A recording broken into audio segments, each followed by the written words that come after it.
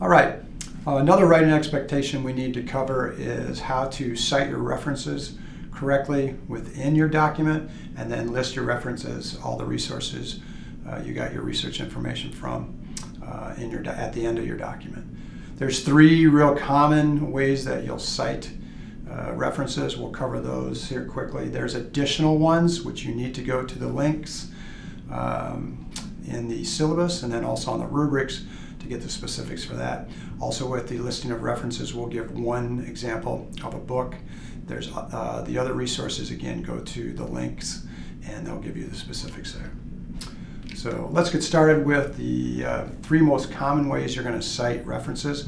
The first one is the one that I recommend you use the most, and that's where you paraphrase or summarize the information you got.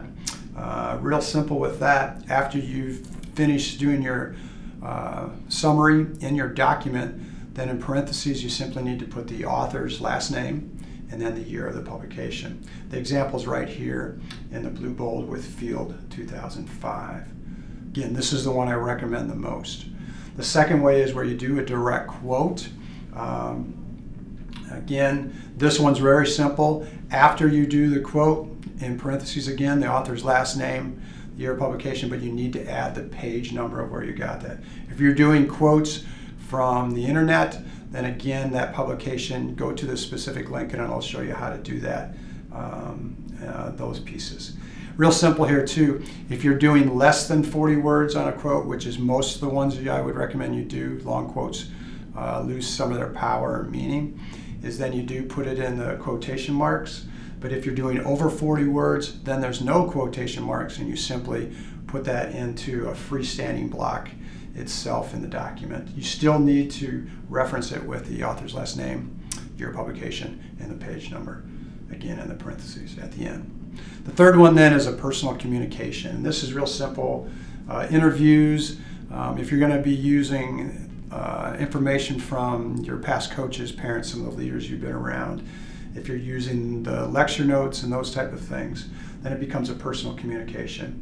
And again, what you need to do there at the end is very simple is you're going to put the uh, last name, but the first initial, last name, then you're going to write personal communication as the example shows here, the date that was done, and again, that's in parentheses. If you're not exactly sure, if again it was one of your previous coaches or teachers, uh, get it as close as you can. Right? So those are the three most common. The one important piece with the personal communications is when we get into a listing of references, those you don't need to list as references, but you do have to uh, cite them within the document. When we go to a listing of references, APA style requires you to do that versus a bibliography. So the very last page of each of your written documents that you're going to send uh, for assignments, you should have a list of references, that's the header. And then this is going to go through uh, some do's and don'ts. APA style, again, you do not do a bibliography, so don't list that as a title as a bibliography. And then very simple, uh, you're going to do this alphabetically by the first author, if there's multiple authors, last name. Okay. Now, when we do the example here, you simply need to put the author's last name and then the initial of all the authors there, if there was multiple. Then you need to do the year publication in parentheses with the title of the work. Uh, note if there's subtitles, like there is, the example I'll give here of our textbook, those also need to be in capital letters. And then lastly, you do the location uh, and then the publisher itself. All right. So if you look at the example at the very bottom, this is our textbook, Sabock. There was both uh, Michael and Ralph, father and son. Michael was the uh, uh, uh, first author, so we put his initial first, but then we add the R for Ralph.